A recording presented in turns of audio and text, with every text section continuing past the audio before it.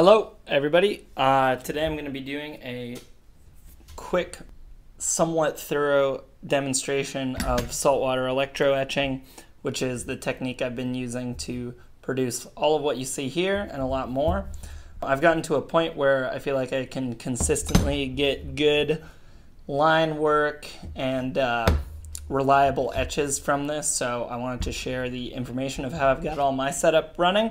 And if you're part of the Rust Temple, there's now uh, a etching tank in the metal shop that anyone can use, and it's so non-toxic that I think that you you should feel free to use it just from watching this video. Don't feel like you you know special training or anything like that. There's really not that much that can go wrong.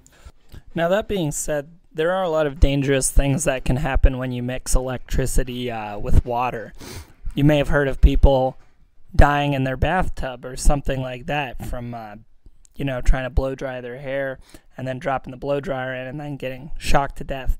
Uh, saltwater electroetching is not dangerous like this, but if you're not following the exact directions of this video and being kind of willy-nilly with your electricity, a lot of a lot of problems can happen. I'm not going to get that much into the chemistry of it. I think I understand what's going on chemically, but I don't want to deceive anyone or uh, act like I know things I don't know that much about. But I will be including some books and links at the end of the video that will give you more of a scientific chemical understanding of this if you're interested. The simplest way I can describe this process is that it is the same chemical process that's going on when your car rusts out during the winter from driving on all the salted roads. Uh, it's the same chemical reaction, but it's just sped up using electricity. Maybe I'm wrong, but it seems like a nice simple uh, description that conveys the message. So, here is the ludicrously basic diagram for what's going on here.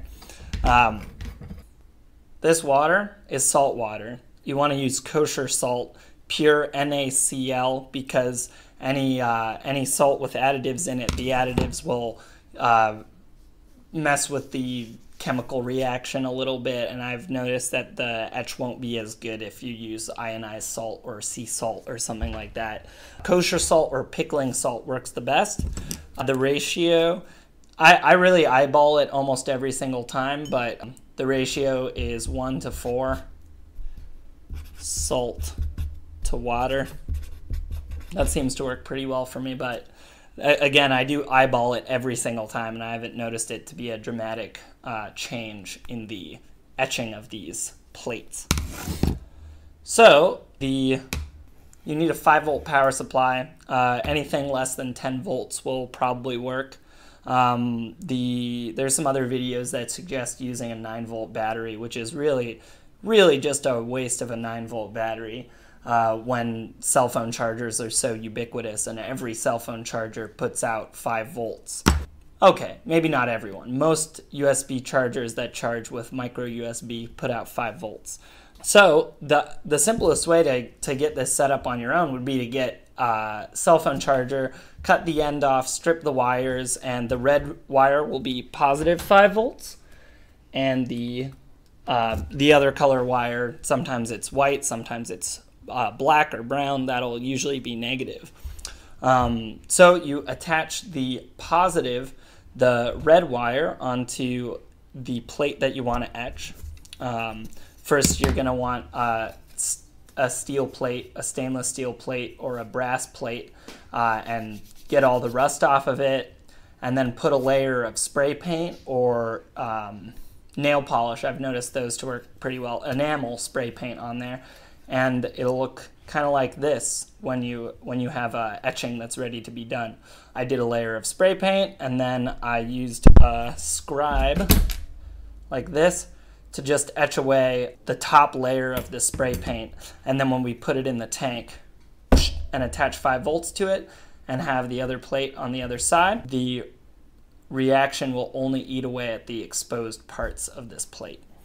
And yeah, that's how I did all of these. Just a layer of automotive enamel, and then I lightly etched out the design, and then in the tank, get it to make a nice etch on there. Great.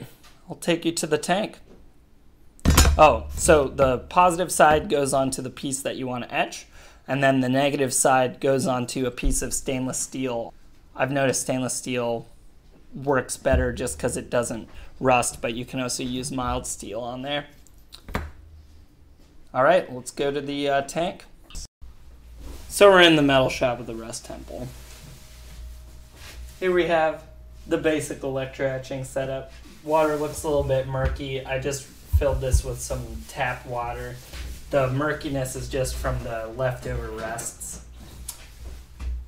That is the power supply that I made uh, out of an old Dell power supply. You should use a cell phone charger though, unless you have one of these power supplies on you and know how to work with it. Cell phone charger is the easiest way to get uh, get yourself up and running with this. This is a piece of perforated stainless steel. That's what we're going to be using on the negative side of this whole uh, setup. And then here again, this is the little design that I've etched out, just scratched out on the surface of this painted piece of stainless steel. I like to use Scotch-Brite a lot to clean up the metals.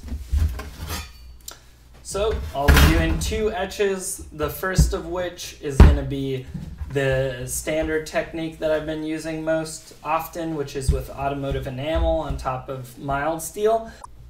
Let me set up the camera so we can get to this. Here we are, a better view of the tank and everything. So, first things first, you're going to want to connect the negative side to your piece of perforated stainless steel. Uh, I've got my coloring a little bit not intuitive, but if you look here at my power supply, you've got uh, red, yellow, and two black uh, banana jacks.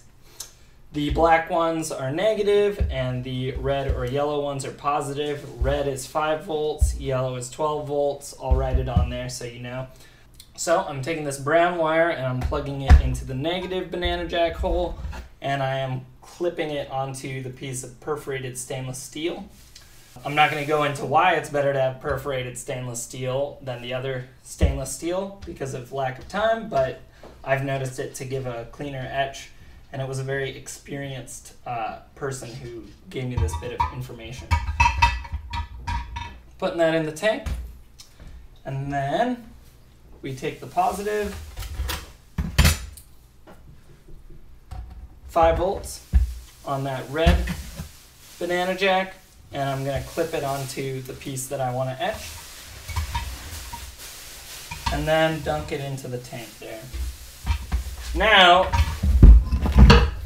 Told you 1 to 4 ratio, but I'm just going to eyeball the amount of salt that goes in there. I really have not noticed it to make much of a difference. I'm stirring it in. I'm going to wait until the bath the salt has completely gone into the solution.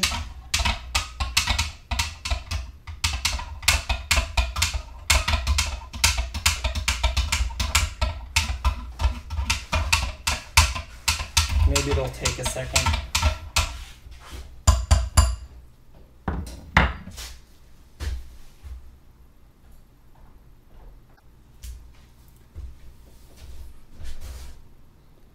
It's mostly settled now.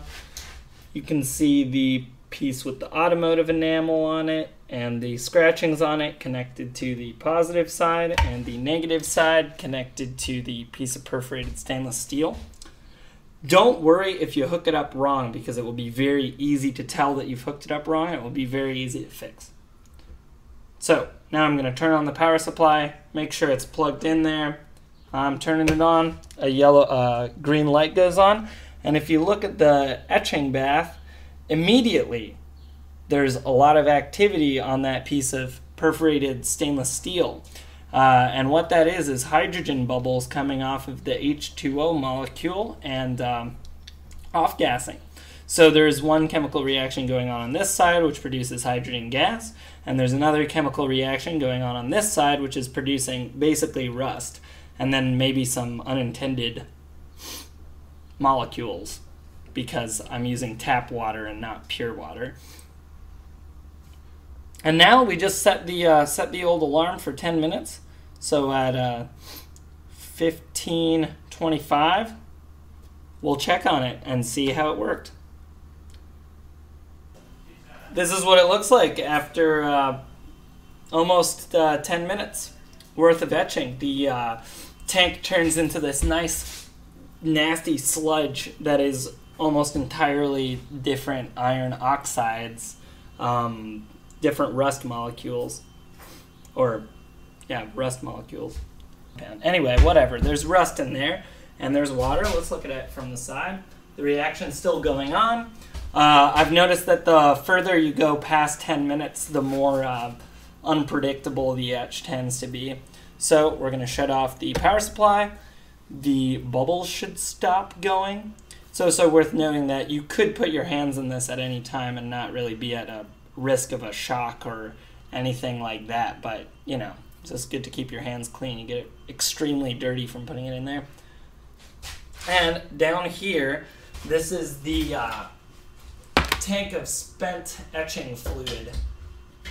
And if you look in it, you'll see that the rust has settled all the way to the bottom. It's like a murky black color. And then there is perfectly clear uh, etching solution there that you can actually just pour off and reuse in another tank. So uh, it's useful to keep this around. And then eventually, when you want to dispose of the iron, you can just take out all of the water in there and then let the rest of the water evaporate. And then you can just throw out the leftover iron chunks. Or I don't know, maybe you could sell it for scrap metal.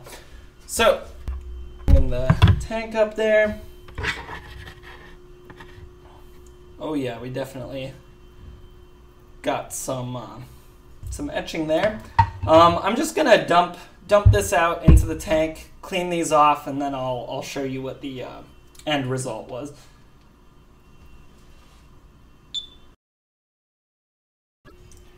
And there it is, all cleaned up. A little uh, etch of a random person's face, creature's face, or something. I don't know. This is just an example etch. I didn't even clean off all the paint, but I think that you get the idea. Uh, let me know if you have any questions. And yeah, you should be all set up and ready to go. Uh, etching using this etching tank at the Rust Temple. Just remember to toss out the spent etching fluid, the electrolyte. Put that away underneath the workbench. Great, great, great, great. I hope this is helpful. Have a good rest of your day. And just remember Facebook doesn't like you, YouTube doesn't like you, Instagram doesn't like you, Twitter doesn't like you. They're just trying to make a lot of money off of your personal data. Have a great rest of your day, guys. Goodbye.